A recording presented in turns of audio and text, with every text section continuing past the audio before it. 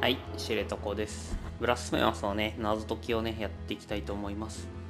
今回は、冒涜の貯水路にある、この剣のね、強化ポイントを行くための方法ですね、おっと危ね、やっていきたいと思います。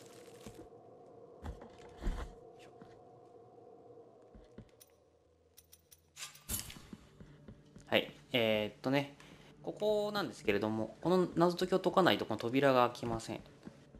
まあ、そのためのやり方っていうのはこれから説明していきたいと思います。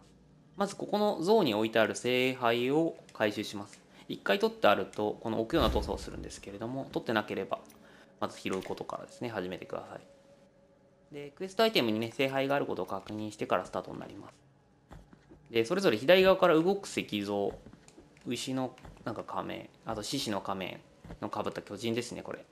この敵3体をですね、えー、と死なずに、かつ、えー、とテレポートをね、道中使わずにクリアしていくっていうのがやり方になります。で、えー、とこの画廊にね、えー、とまず動く石像がいます。で、この黄昏山脈に、この牛の仮面がいて、この獅子の仮面がこの、この辺ですね。聖金の壁にいます。うわっと、いいのか。はいと。落下ダメ受けないやつにしとくと、ここからショートカットできるんでね、使っておいてください。今回ね、黄昏山脈から行くルートをやっていこうと思います。基本的にどっから倒して手をつけていってもいいです。ただ死なずにっていうのと、テレポートさえ途中使わなければ問題ないんでね。で聖杯が少しずつ倒していくとこう満たされていくんですけれどもテレポートを使うと消えちゃうっていうことなんで、まあ、最初に使う分には問題ないですね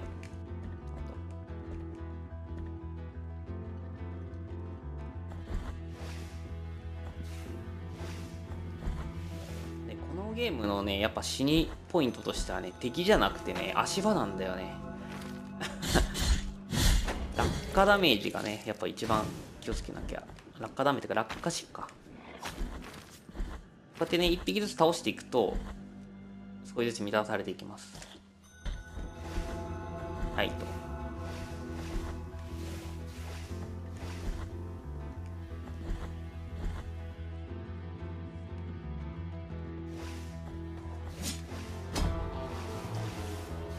足場足場治ってない。えー、っとこれ。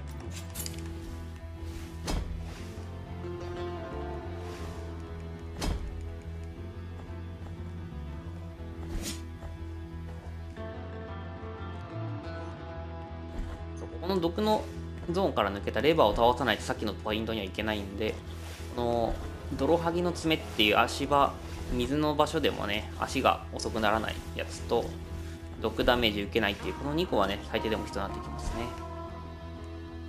あと渡るための3下か。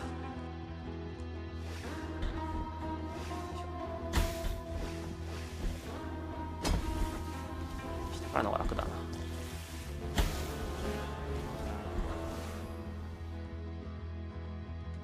で、えーと、慈愛なる夢だったかなっていう場所を抜けていきます。今回は、黄昏山脈、画廊、あと壁っていう順番でいく感じですかね。あのチェックポイントはね、自由に触っても大丈夫です。ただ、リトライポイントがそこからになっちゃうんで、あんま下手なところで触っちゃうと、死んだ時に戻るの大変っていうところぐらいですかね。意識しなきゃいけないの。まあ、おすすめはやっぱ画廊からやるのがいいかもしれないな。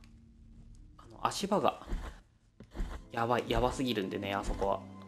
マジデスゾーンですよ。このゲームで一番、一番じゃないな、2番目ぐらいにやばいところか。1番は、あれだ、山頂向かうとこだね。はい、こっからですね、やばくなってきます。これ食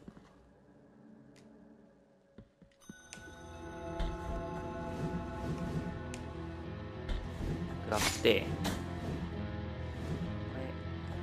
あえて食らってた方が。この辺ですね。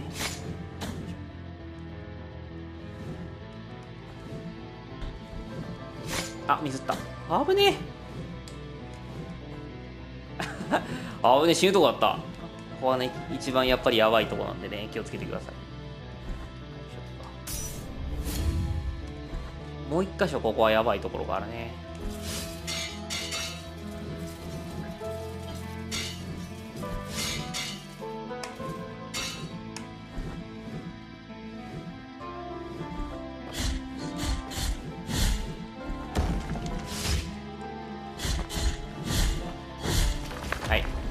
れが動く石像ですね。これを倒すと乱されます。あと1体倒して戻ればいいだけなんですけど結構遠いんですよね。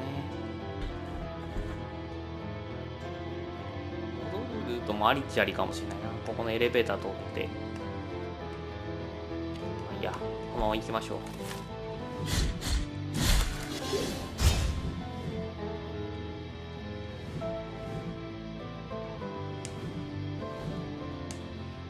止まらずに行くのが。ね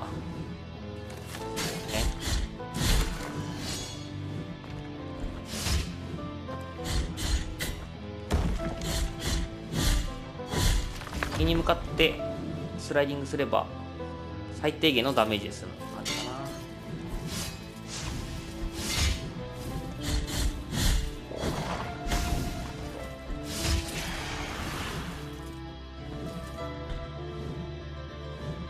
る感じかなで帰ってくるタイミングで登ると。もう一回ジャンプした方がいいですね。も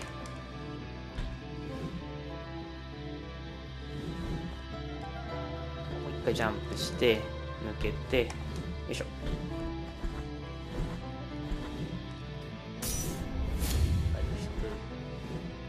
で次が図書館ですね。図書館を抜けていくんですけど、図書館ね、これスティック倒してるとね、この暗転中もね、スティック入力入ってるんで気をつけてください。ここ。スティック入れっぱにしてるとね、落ちます。このゲームよくあるんですけどね、押しっぱにしてると すでに進んでるっていう。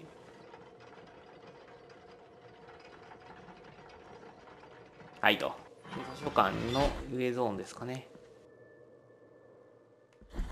抜けていきます。ここからは比較的簡単で、少なくとも、あれかな、屋上付近までは安全かな。敵からのダメージぐらいしか死ぬ様子ないから。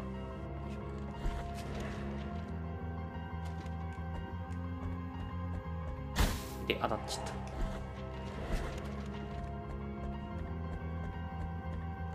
い、で図書館抜けて、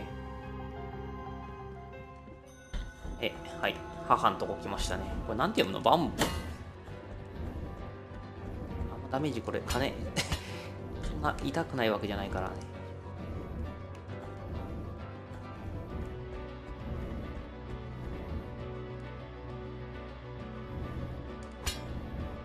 横着すると、あ、横着するとね、食らうんで。きっちりやってた方がいいですね。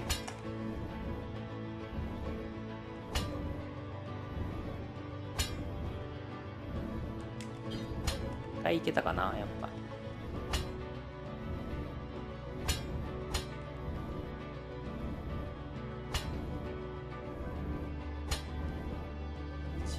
で、あ危ね。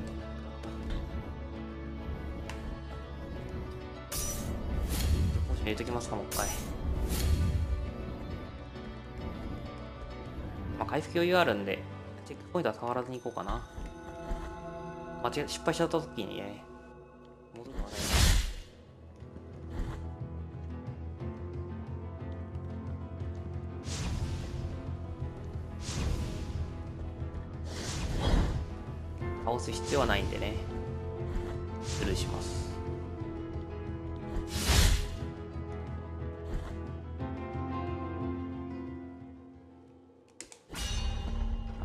はい、こういうとこもね、ダッシュしちゃってると、落ちて死ぬんで、きっちり、ス ティック入力はやめとこうっていうね。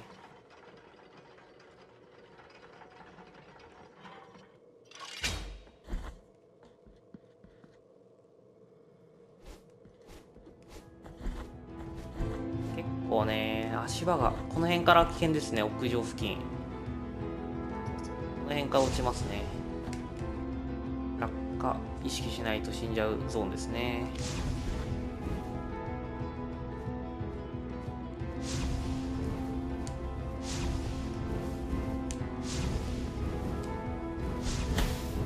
危ねからですね。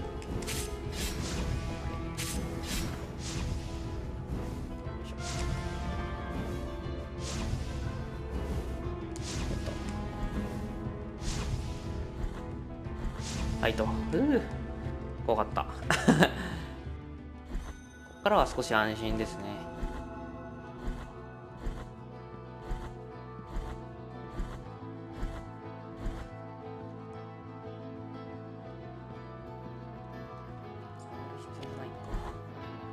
えーと、どこいたっけなちょっと敵の場所忘れちゃったな。確かボスゾーン付近に一体いたはず。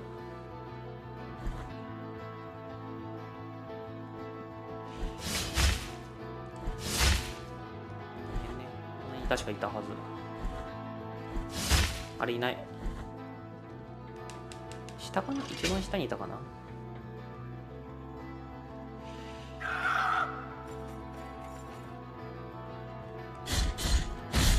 あれ？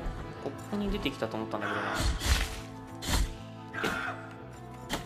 はめ込む食らってる。ああ逆ルートから来ないとダメか。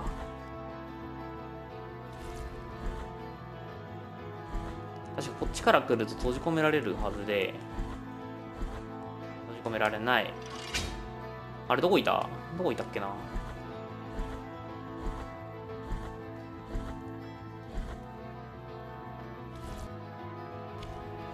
一番下にいたっけ？いたいたいたいたいた。これこれこれ。いて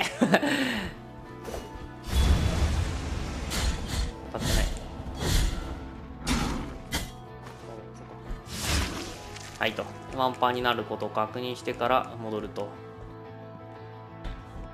戻り方はここのショートカットが解禁してるならあの一番上からリフト使って帰るのが早いですね。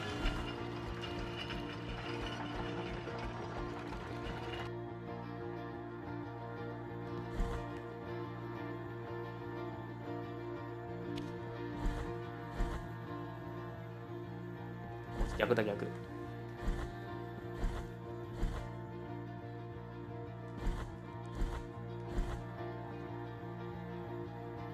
はいと。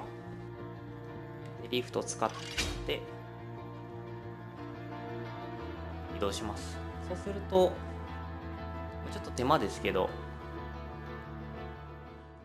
変な足場。そうそう修道院に行くんでね。修道院からエレベーター使って帰れるんで。比較的安全に帰れるはずですね。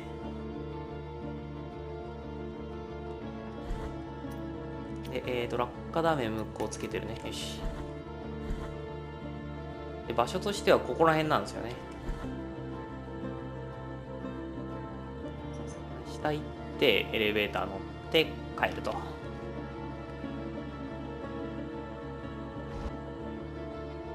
さらに下と。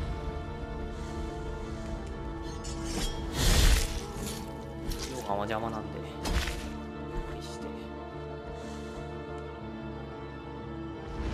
ああいて。そうだ。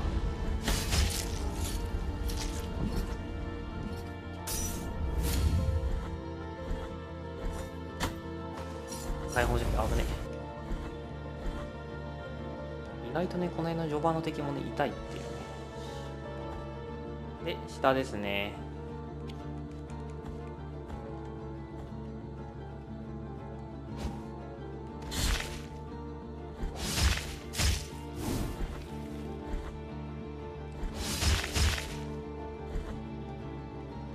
はいと。この辺はスティック倒しっぱにしてると危険なんで気をつけなきゃいけないですね。ガチャッと。は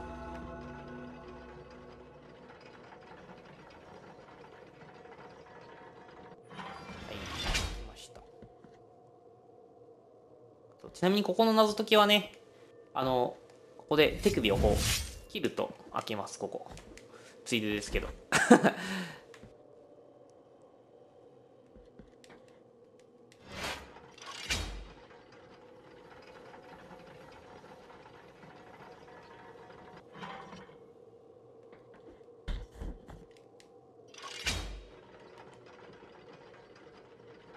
さっきのこの上はね、ここからジャンプしていけるんでね。よいしょ。降りれない。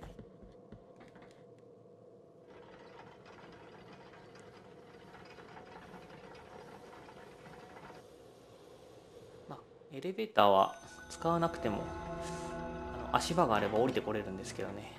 ちょビビって。今回は、そっか殺すルート取ったから境界が空いてないですね。はいと。戻ってきましたと。いや長かったね。あとは死なないように。足場。必ずあるチェック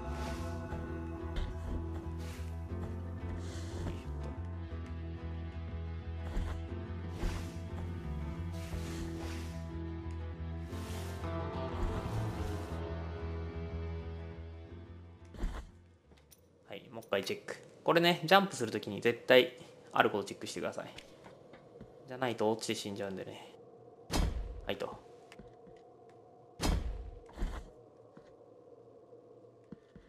で聖杯を置くと。はい。で扉は開きます。はいということでねこれぐらいね結構ヒヤヒヤしながら行かなきゃいけない場所ですね。そうすると剣が強化されます。はい。ということでね皆さんも頑張ってください。ありがとうございました。